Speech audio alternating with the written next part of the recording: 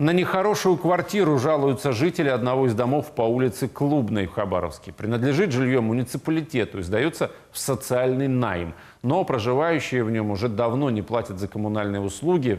По сути, городская собственность стала притоном. Ирина Забродина побывала там.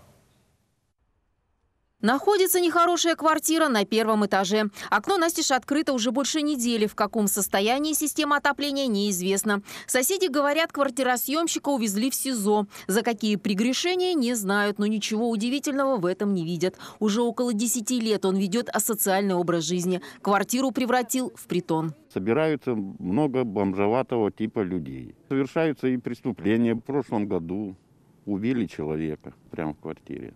Хозяина двухкомнатной квартиры зовут Михаил. По словам соседей, когда-то был неплохим сварщиком. После смерти родителей живет один. Нету запирающих устройств ни в двух дверях никаких. Постоянно открыто. Здесь проходной двор, ходят. Запах э, идет противный.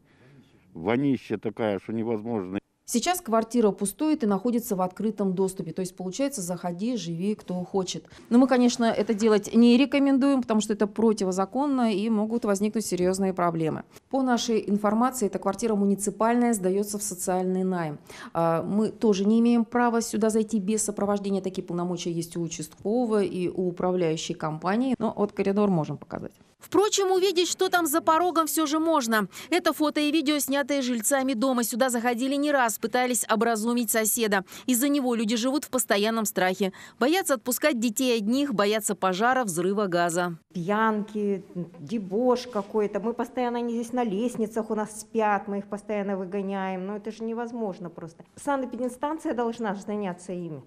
Там они все кашляют, я не знаю, что там вообще. Ну, ну ужас. Выбивают нам эти двери входные.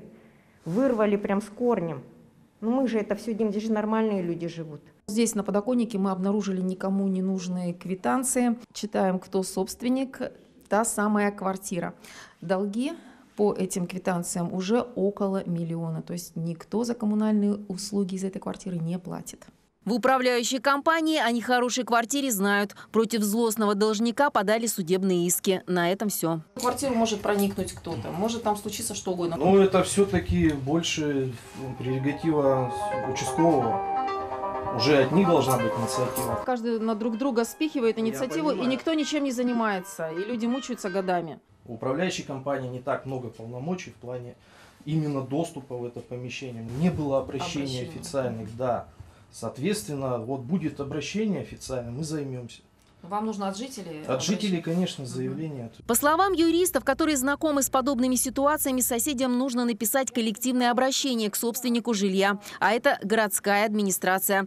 Только они имеют право лишить такого жильца муниципальной квартиры. Администрация города может обратиться в суд за выселением их без предоставления там другого жилого помещения, без предоставления там другого жилого помещения. Надо написать э, обращение в администрацию города, ну, можно написать на первое заместителя заместителя мэра города по городскому хозяйству Новорада Вадима Евгеньевича, да, для того, чтобы для работы спустили там наше управление. Если не поможет коллективное обращение соседей, то останется только один выход. В случае, если никакие действия предприняты собственником не будут, в данном случае уже жильцы имеют право и возможность обратиться в прокуратуру как орган, надзирающий за соблюдением законности с той целью, чтобы прокуратура провела проверку законности действия либо бездействия собственника в отношении данного жильца данной квартиры. В любом случае у соседей решить вопрос быстро не получится. Выселение человека из жилья – одна из самых сложных процедур, даже если речь идет о нехорошей квартире.